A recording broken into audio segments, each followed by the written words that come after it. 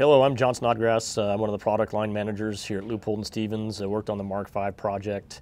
Um, you know, we've been talking about the our new PR reticle family. So we have uh, a couple reticles that we designed in conjunction with some of our top shooters to kind of fill some gaps in the market as far as uh, a reticle that gave competition shooters all the information they need for holdovers and holdoffs, um, but wasn't too cluttered. So they could see trace, they could see impacts easily. We have reticle engraving capability here, so we can draw it on a napkin, we can draw that up on a CAD file, engrave it on a, on a glass blank reticle, pop it into a scope and see what it looks like. We came up with a design working with our shooters like John Pinch and Dan Bertoncini and, and Doug Koenig and a few others.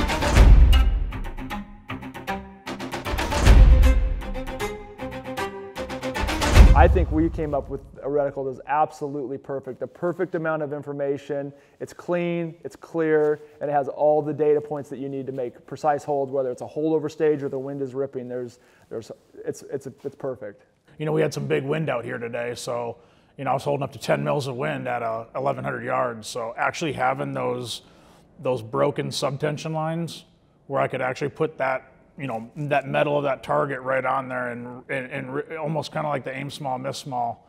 It was pretty easy to, to find that hold, but also maintain that hold for following shots. Um, so one of the unique things that we did, and we actually started at, uh, with what we call our CCH reticle that we, we built with uh, kind of the military in mind, um, is we, we use a 0.25 mil increment or on our MOA version, uh, a 2 MOA increment.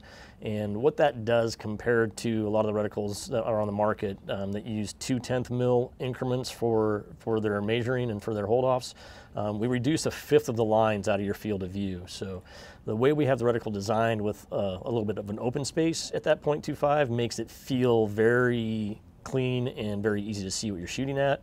Um, and that 0.25 still gives you all the accuracy you need to make those holds. For me, reticle is super personal and it's, it's the direct connection and direct link from shooter to target. So the reticle is, is just as important as, as how durable and, and how well and how clear the scope is. I think a lot of shooters are really gonna, that didn't have Leupold on their radar are going to now and then also want to start using this scope because it, it basically does everything they want it to do and, and nothing they don't.